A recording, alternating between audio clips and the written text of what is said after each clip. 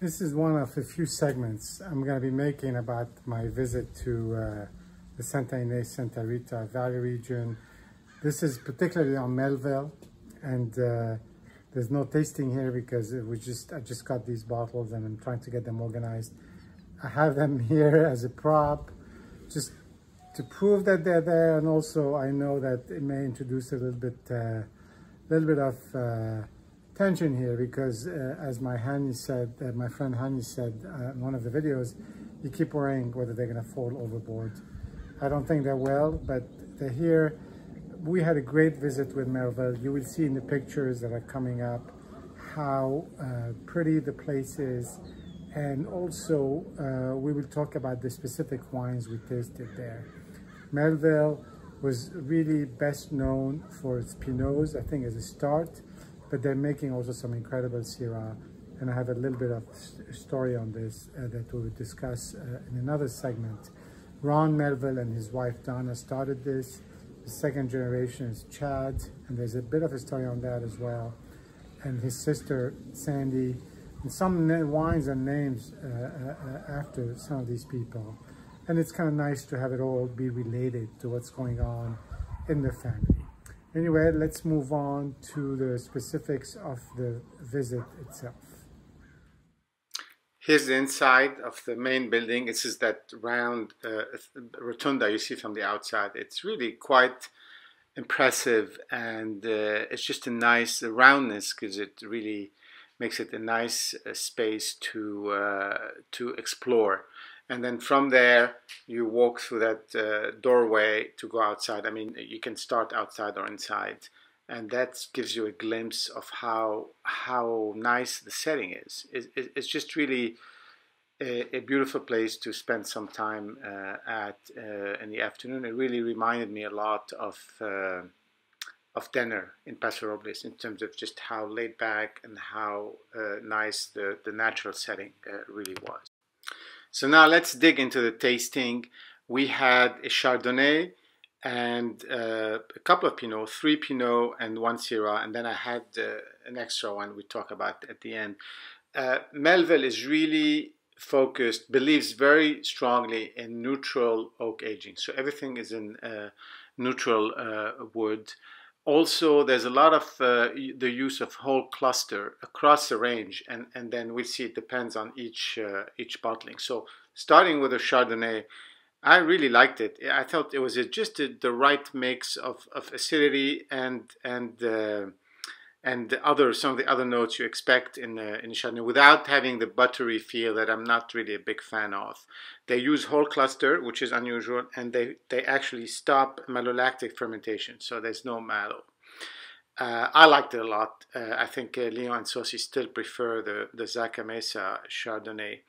The Sandy's uh, Pinot, Sandy's block. That Sandy is is um, Ron Melville's daughter, Chad's sister it's very very light very ethereal. It's well some of the really good pinot i think you can get in the area. It's on sandy soil. It does it is a bit tricky but once you get it right it really produces this sort of very light uh, and and and um, subtle pinot.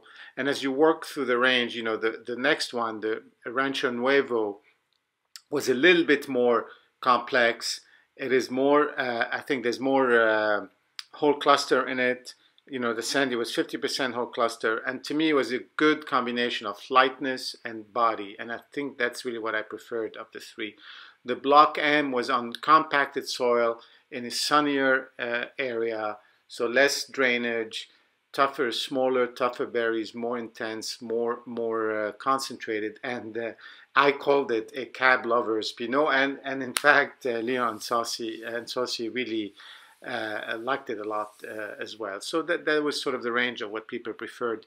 The Estate Syrah was was very good. It's a good blend of some of their best uh, uh sort of uh, plantings, and they make a really good Syrah out of it. Then I really wanted to taste the Donna's Block Syrah, which it'll be uh, on the next page, and. Um, that's sort of to me what what good Syrah from the area really should be like. It's Donna is uh, Ron's wife, so the mother of the children. And uh, that, that uh, Syrah was really planted in some of the northernmost regions of their vineyards. So it's cooler climate. It is sandy soil, but but the the the, the Syrah develops really differently. It's a cool climate Syrah, and I found when I tasted it that I, I really liked the way it was sort of dark and broody a little bit and and coiled and even though it's a 2019 i think uh, it was still uh, had a lot of room for development. So this is one i'm gonna keep uh, for a while. I got a few bottles so maybe i'll drink one soon and the rest later. Anyway it's just a great visit and uh, we we both you know we all found something we liked and uh, and I think we'll come back. Just one note on these visits and we talked about this before. Some of these visits get quite expensive with the wine tasting and, and all these wines. These wines are not necessarily cheaper than they are in the store so one has to be careful about that. But if you're buying one or two bottles that are maybe harder to find then the wine tasting is, is sort of reimbursed to you fee and overall you'll find that you have a good uh, a good experience. So it's it's worthwhile for that reason, but don't expect that uh, you're going to get a deal really on the on the bottles themselves, unless you you join some discount clubs or what have you. But that really makes it into a lot of wine to buy all the time. So all in all, it was a great visit. We had a great time. The wines were just incredible. And I think Melville is, is somebody is, is a place that consistently uh, punches above its weight the base estate uh, uh, uh, Pinot is just incredible. I've had some in the past, and I think we did a video together on that. But but their their single vineyard ones, as we saw in the tasting, were also incredible. Again, you know, very friendly, very nice. There was a little bit of a hiccup at the end. I did order to take with me two bottles of the Donna Syrah, which I really liked, and they were nice enough to have us taste it, even though it's not on the tasting flights but somehow things got a little bit messed up. I got home, I had two Donna, two, sorry, Sandy, you can see how you can mix it up, Pinot instead of the Donna Syrah. And, you know, I was, I was disappointed because I really wanted the Syrah. I did talk to them, they kind of sort it all out, ship me the, the, the, the, the, the flip and, and I'll take care of the, you know, they can take care of getting the, the, the Pinot shipped back. And, and it's just kind of the kind of nice customer service you really want to feel in in uh, these places. So all in all, very happy with the visit and uh, and the wine. Thanks.